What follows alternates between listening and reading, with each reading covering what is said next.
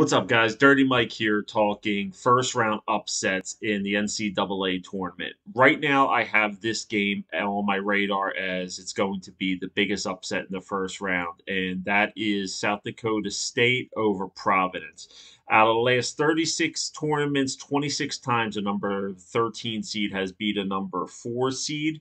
Uh, so there is a precedence for this, and it seems to happen almost every year.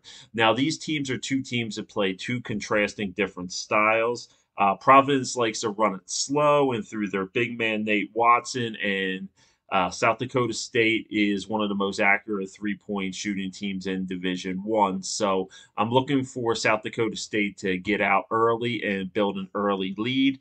Uh, they are undefeated this season when leading at halftime. Uh, they come into the tournament with the longest win streak in D1 at 21 games. And like I said, they are undefeated when they lead at halftime. Uh, they do have a habit of letting teams back in the game with their defense. It is kind of only a so so defense, but they are one of the highest scoring uh, teams in D1. So I am looking at this as the biggest upset in the first round. South Dakota State over Providence, 13 seed over number four.